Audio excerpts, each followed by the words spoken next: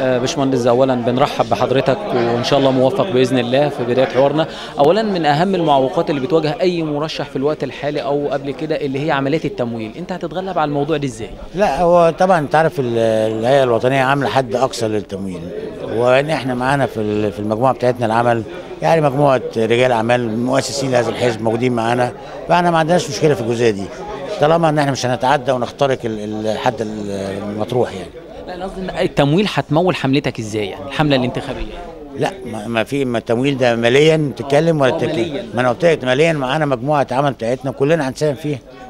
آه ومش بس لن نتعدى السقف المطروح يعني. آه.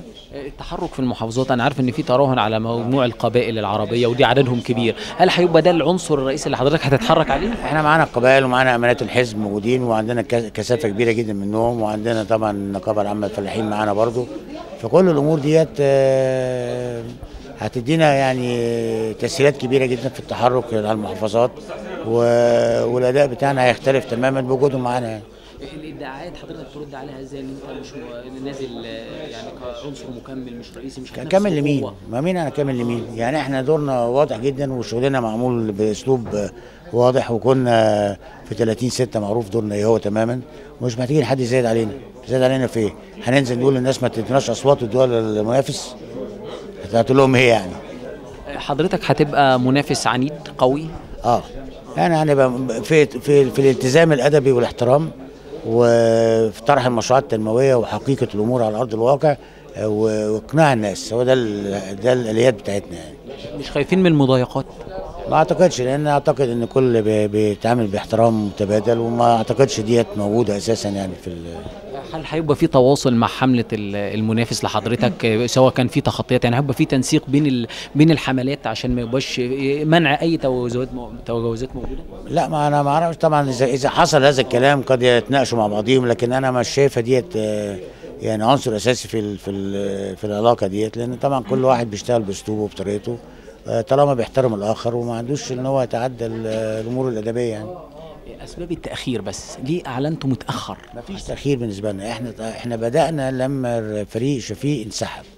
بدأنا نجمع في التوكيلات ونتحرك ونعمل تجهيزات معينة واستكملنا حاجات كتيرة جدا في الفترة ديت وقدمنا ال- كشف الصحي اتعمل حتى على يومين وقدمنا كل ال- ال- الأوراق المطلوبة مننا وجبنا تزكية النواب. كل ده كان شغال في في الأسبوعين اللي فاتوا.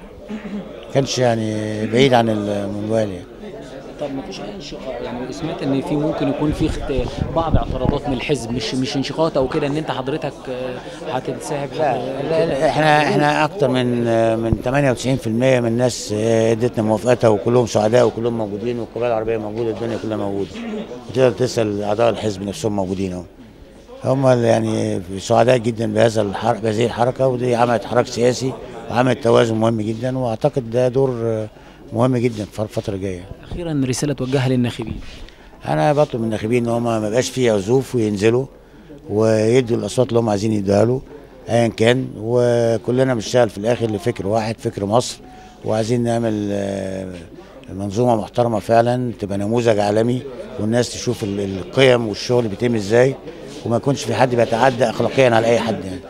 أخيرا الملفات الحيوية زي سد النهضة الأزمة الاقتصادية الدولار آه، الملفات مع الحدود ليبيا الأمن كل ده هتتناولوا إزاي لا دي كلها طبعا ملفات تقول ملفات منفصلة عن بعضيها ولكن لما تيجي تتكلم اثيوبيا دي ليها وضع مختلف. آه لا اثيوبيا إحنا زي ما قلت لك المية ال- دي ده المية ديت عبارة عن آه ضوء أحمر مفيش هزار. سنتي واحد من المية عندنا إحنا نبقى نتأهب للحرب. فمفيش مفيش كلام يعني. وهم فاهمين الكلام ده والناس فاهمة الكلام ده كله ومحدش هيقدر يتعدى هذا الكلام لأنه هم بيعتبروه ملف سياسي أكتر منه آه يعني لوي دراع يعني. الإرهاب طبعا أنا زي ما بقولها إنك أنت مش هتطلب من الناس تنزل تاخد سلاح وتقتل بس عايز الناس يبقى عندها الوعي ولو شايفة حاجة ما تسكتش وتبلغ ولو جارك حتى تبلغ لو أنت مش مش مطمن هتستنى ما يجي يفجرك ولادك ويفجرك؟ لا لو أنت شايف حاجة مش مصح تبلغ عليها. لكن هتعمل إيه أكتر من انك انت تبقى صاحي للون وشايف الوضع إزاي وتبلغ ال- السلطات بهذا الكلام في حالة إن هذا الكلام آه، كان له دور يعني. الموقف من الإخوان أخيرا لا إحنا موقف هنا إحنا بالنسبة لنا ده موقف ما فيهوش خط رجعة. إحنا خدنا منهم موقف من 30 6 و... وما عندناش استعداد نتعامل معاهم في أي آلية لأن هم ليهم فكرهم وفكرهم لا يتغير وإحنا لينا اتجاهاتنا المختلفة وما عندناش استعداد نتعامل. لو جم جيت رئيس مش هتتصالح معاهم؟ لا المصالحه مع المصالحه مع مين؟ ما هو الناس اللي قتلوا وعملوا ولا مع مين؟ لا لا الاخوان لا ما فيش طبعا مصالحة يعني إحنا ما عندناش استعداد ناس عايزة تخطف بلدنا وتاخدها وتودينا التهلكه لا